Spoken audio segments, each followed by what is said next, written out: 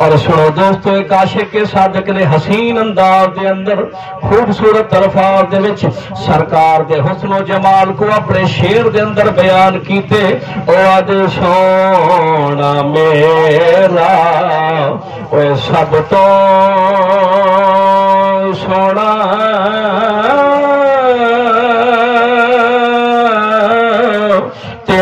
तक सोने शर्मा विने